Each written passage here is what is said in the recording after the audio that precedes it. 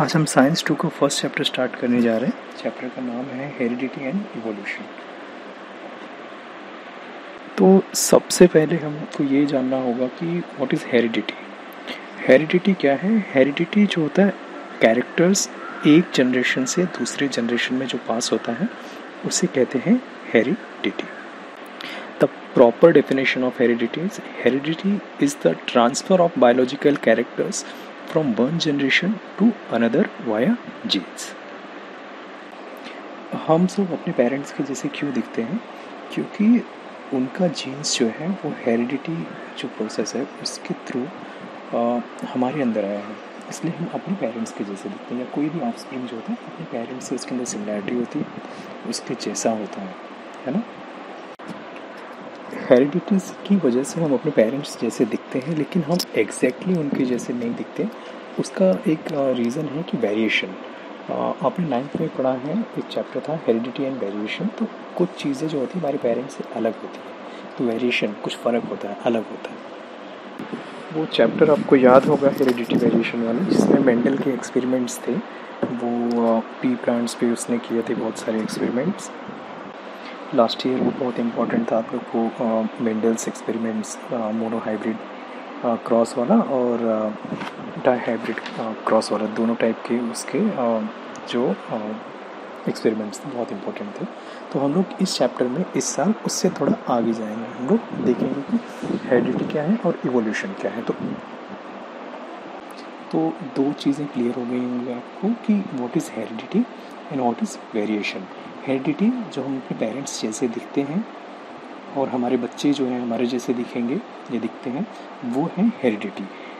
Variation जो हम अपने पेरेंट्स से थोड़ा बहुत अलग दिखते हैं, उसको कहते हैं वेरिएशन थोड़ा सा अलग होता है तो जिस तरह हेरिडिटी से कैरेक्टर्स एक जनरेशन से दूसरे जनरेशन जाते हैं, उसी तरह वेरिएशन भी थोड़ा थोड़ा थोड़ा थोड़ा थोड़ा फ़र्क हर जनरेशन में होता रहता है। एग्जैक्टली ट्रू कॉपी नहीं होते।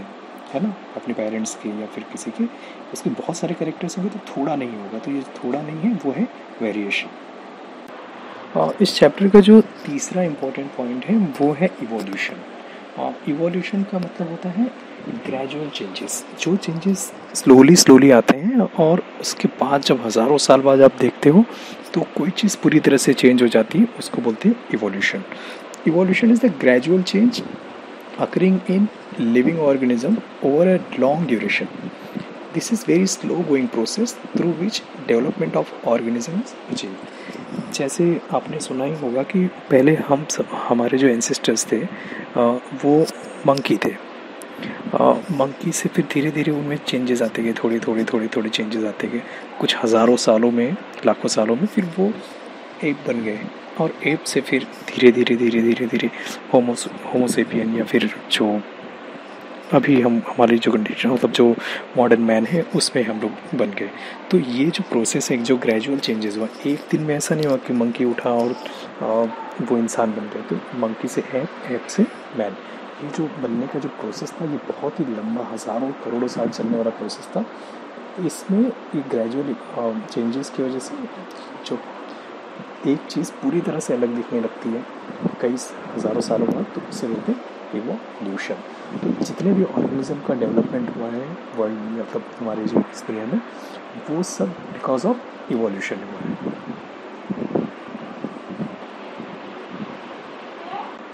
तो इवोल्यूशन की वजह से जो जो चेंजेस आए, वो धीरे धीरे थोड़े थोड़े जो चेंजेस आते रहे और वो परमानेंट होते गए। जैसे मंकी थी उसकी टेल रही होगी तो वो अब नहीं है तो परमानेंट चेंजेस है।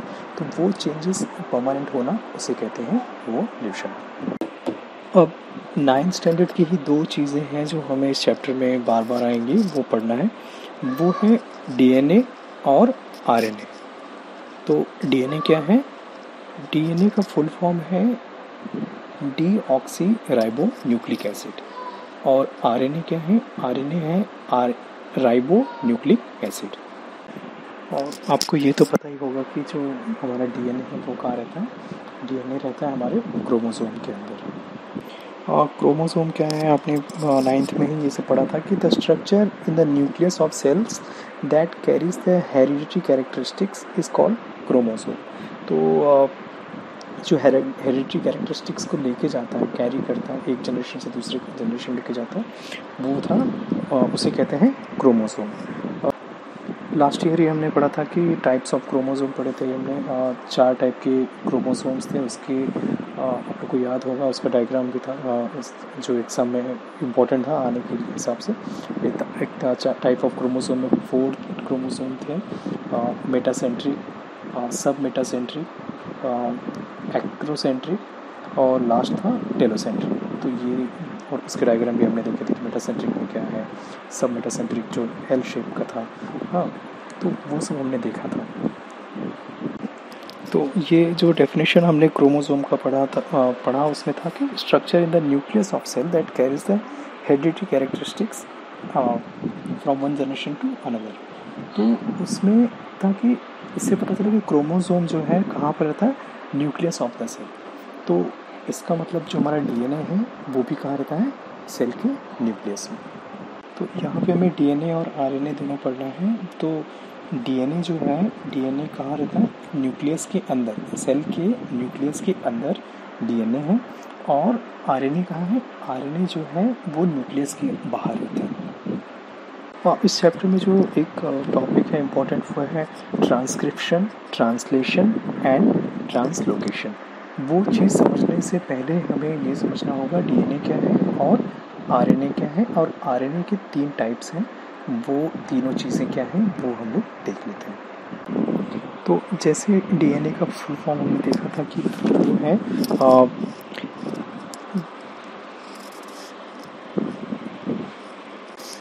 जैसे हमने डीएनए का फुल फॉर्म देखा था वो है डाईऑक्सी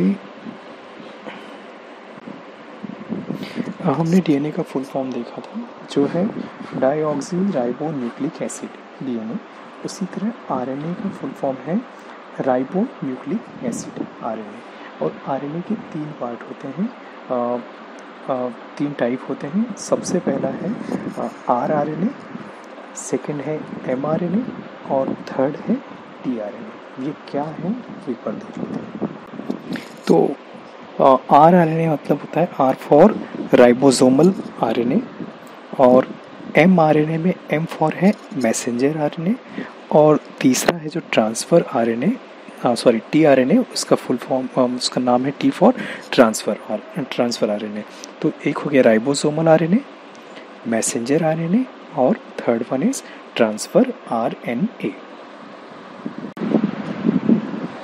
तो आगे बढ़ने से पहले हम लोग डीएनए और आरएनए का डिस्टिंग्विश देख लेते हैं डीएनए क्या है आरएनए क्या है डीएनए है उसका full form deoxyribonucleic acid RNA है राइबो न्यूक्लिक एसिड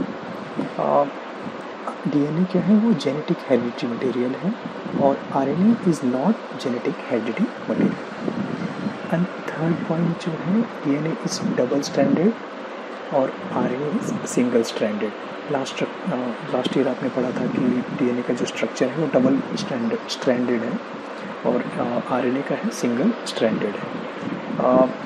डीएनए का जो साइज़ वाइज अगर आप देखोगे तो DNA is much larger than RNA with millions of nucleotides तो मिलियंस ऑफ़ न्यूक्लियोटाइड्स है इसके अंदर डीएनए के अंदर।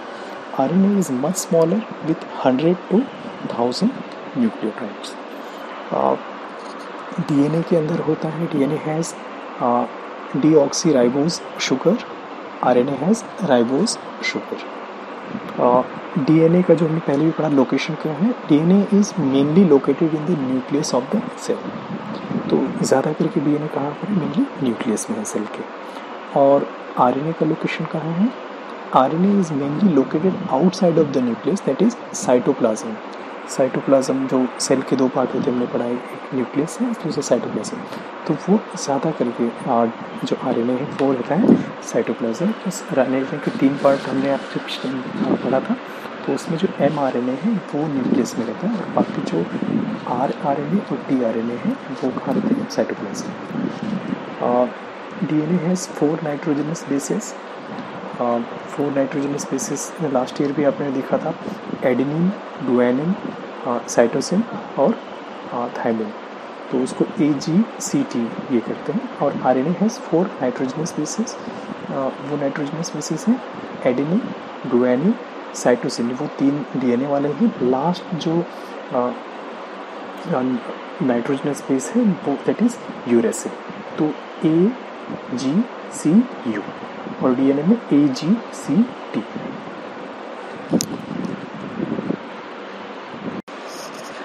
अब हम लोग देख लेते हैं जो प्रोसेस ऑफ़ ट्रांसक्रिप्शन ट्रांसलेशन और ट्रांसलोकेशन है उसके बारे में।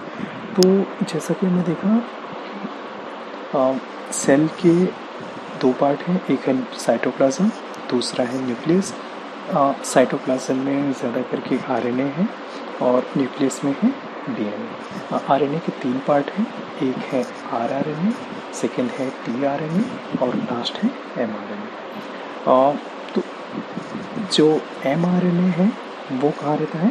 न्यूक्लियस में। और बाकी जो दो आर एन ए हैं, एक है आर आर एन ए और दूसरा टी आर एन ए वो कहाँ रहते हैं? साइटोप्लाज्म इतनी चीज़ें क्लियर हुई? हाँ तो देखते हैं।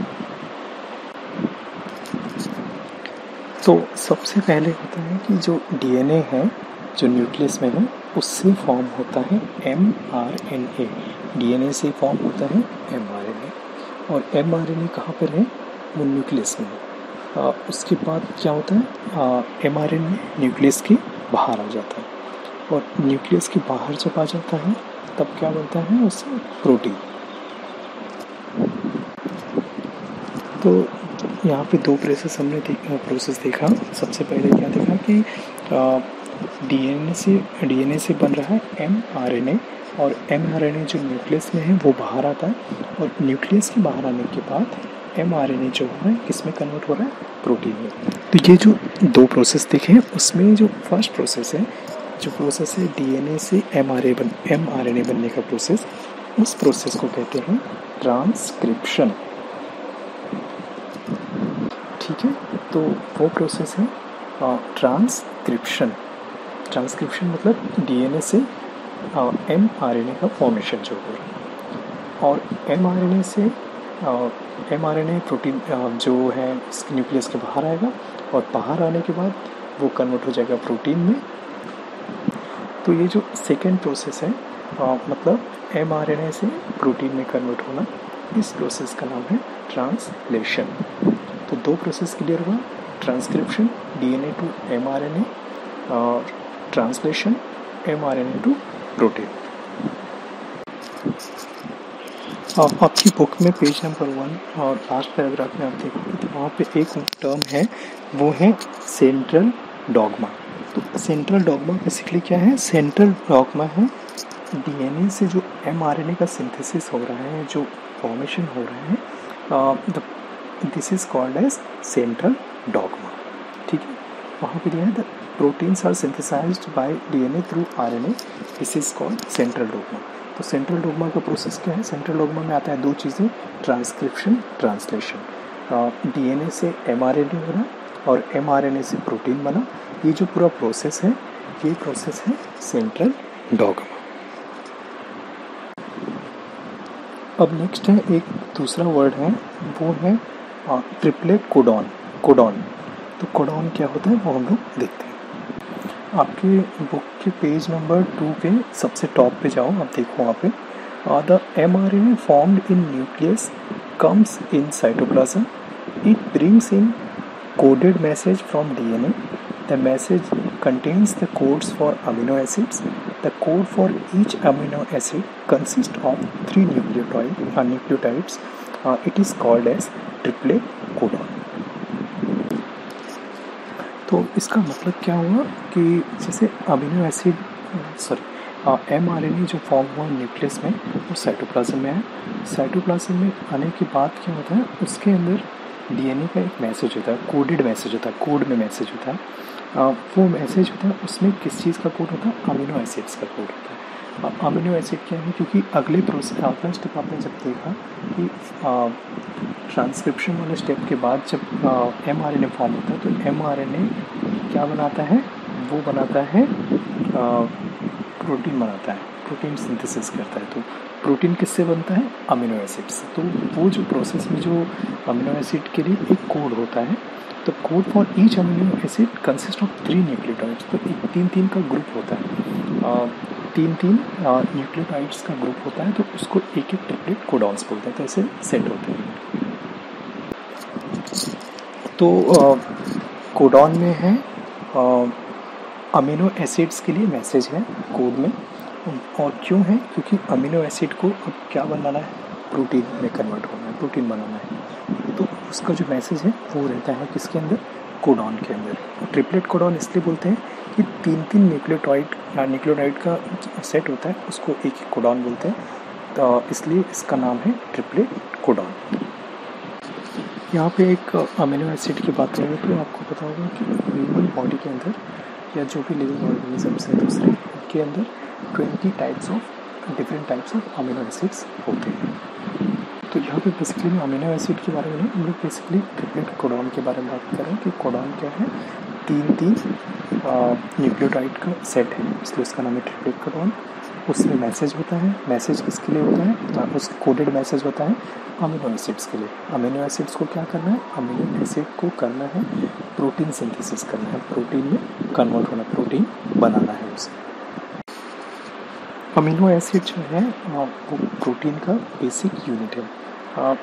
अमीनो एसिड्स ज्वाइन होके प्रोटीन फॉर्म करते हैं। आप, आपको पता है कि ट्वेंटी टाइप के अमीनो एसिड्स हैं, वो अलग अलग टाइप के प्रोटीन बना सकते हैं। डिपेंडिंग अपॉन कौन सा अमीनो एसिड किसके साथ ज्वाइन होता है और अपने कॉम्बिनेशन के हिसाब से वो अलग अलग टाइप के प्रोटीन बनाते हैं एज पर बॉडीज रिक्वायरमेंट तो जब आपका प्रोटीन सिंथेसिस हो जाता है, तब जो एम आर एन ए है, उसका काम वहाँ पे क्या हुआ? पूरा हो गया और वो वहाँ पे ख़त्म हो जाता है। मतलब उसका मतलब नहीं रह जाता फिर कुछ। तो इसीलिए एम आर एन ए को जो बोलते हैं temporary R N A next time जब आपको फिर से प्रोटीन की ज़रूरत होगी तो पूरा प्रोसेस फिर से रिपीट होगा। आपका डीएनए क्या बनाएगा? फिर से एमआरएनए बनाएगा और एमआरएनए क्या करेगा? न्यूक्लियस में है न्यूक्लियस से बाहर आएगा साइटोप्लाज्म में। साइटोप्लाज्म में आएगा और उसके अंदर क्या होगा? एमआरएनए के अंदर होगा कोडॉन्स कोडॉन्स क्या होते हैं? वो मैसेज होते हैं। किसके लिए मैसेज होते हैं? वो अमीनो एसिड्स के लिए मैसेज होते हैं। उस मैसेज में ये होता है कि किस टाइप का प्रोटीन बॉडी को चाहिए तो उसी टाइप का प्रोटीन बनाते हैं। और जैसे ही अमीनो एसिड्स ज्वाइन हो जाते हैं प्रोटीन फॉर्म हो जाता है तब यहाँ पे आपके एमआरएनए का काम ख़त्म हो जाता है। फिर उसके बाद ही प्रोसेस रिपीट होता है। तो जब जब प्रोटीन चाहिए तो फ्रेश आपको एम आर एन बना के देगा। तो ये आपका सेंट्रल डॉक्मोपोजी प्रोसेस था। आ, उसके अंदर दो चीज़ें थी। हमने सीखी ट्रांसक्रिप्शन ट्रांस ट्रांसक्रिप्शन था डीएनए से एमआरएनए बनना और सेकंड था ट्रांसक्रिप्शन के बाद ट्रांसलेशन ट्रांसलेशन में क्या हुआ एमआरएनए से प्रोटीन सिंथेसिस हुआ प्रोटीन बनना। तो ये दो प्रोसेस हैं वो याद रखो। तो जो अपना सेकेंड प्रोसेस था ना ट्रांसलेशन और ट्रांसलेशन में आ, क्या हो रहा था कि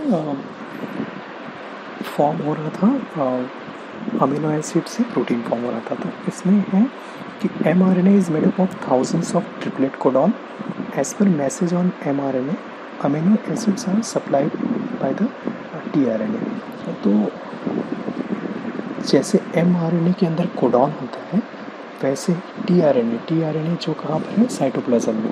अभी आपका जो एम आर एन ए है M R N A nucleus से साइटोप्लाज्म में आ गया साइटोप्लाज्म में टी आर एन ए है। टी आर एन ए के अंदर होता है एंटी कोडॉन कोडॉन है और उसका कॉम्प्लीमेंट्री होता है एंटी कोडॉन कॉम्प्लीमेंट्री सीक्वेंस होता है। The amino acids brought in by sorry tRNA is the the anticodon having complementary sequence to the codon on the mRNA. This is called as translation. तो इस process को क्या बोलते हैं? Translation translation से क्या बन गया आपका? अमीनो एसिड से आपका प्रोटीन बन गया। The amino acid brought in by T brought in by T R N A are bonded together by peptide bonds with the help of R R N A during this process the ribosome keep on moving from one end of M R N A to another end by distance of one triplet codon. This is called as translocation. Location translocation मतलब जगह change होना तो एक एक triplet codon छोड़ के जो M के अंदर जो ट्रिपलेट कोडॉन है, एक एक ट्रिपलेट कोडॉन छोड़ के दूसरे भी राइबोसोम्स जो हैं, वो मूव करते रहते हैं और ये जो प्रोसेस है तो एक एक कोडॉन का डिस्टेंस रखने के बाद का जो मूव हो रहा है this is called as translocation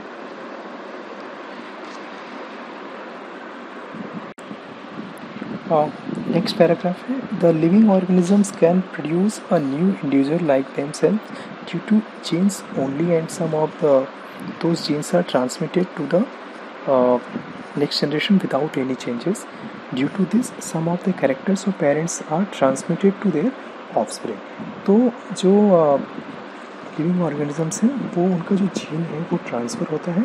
इसीलिए उनके कुछ कैरेक्टर ट्रांसफ़र होते हैं अगले जनरेशन में। तो इसलिए पेरेंट्स के जो कैरेक्टर्स हैं, वो ऑफस्प्रिंग के अंदर दिखते हैं। ऑफस्प्रिंग्स मतलब बच्चों, बच्चे। However sometime sudden changes occur in those genes sometimes any nucleotide of the gene change its position that cause a minor change.